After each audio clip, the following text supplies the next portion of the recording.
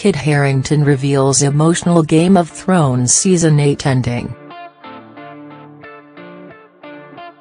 Kit, who plays Jon Snow in the Game of Thrones cast, has found himself thrust to the forefront of the show. In Game of Thrones Season 7, it was revealed that Jon was the true heir to the Iron Throne and Seven Kingdoms. The R plus L equals J fan theory was finally confirmed, meaning the romance between Jon and Daenerys Targaryen became a lot more confusing. I cried at the end.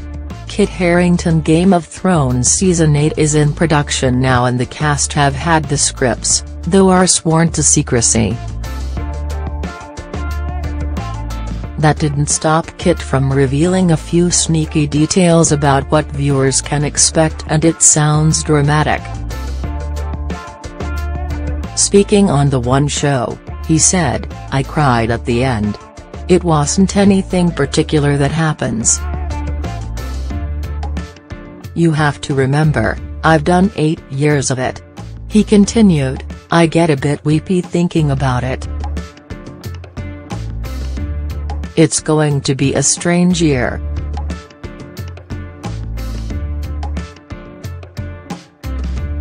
Saying goodbye to everyone, having your last scene with this person or having your last scene with that person. Not only you're attached to it, loads of people around the world are attached to it.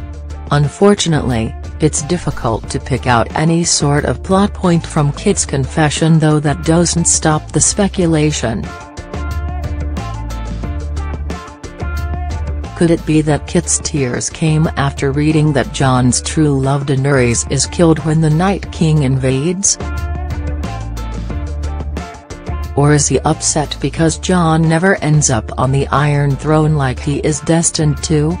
Fans will have a longer wait to find out what happens, although there will only be six episodes in the final season.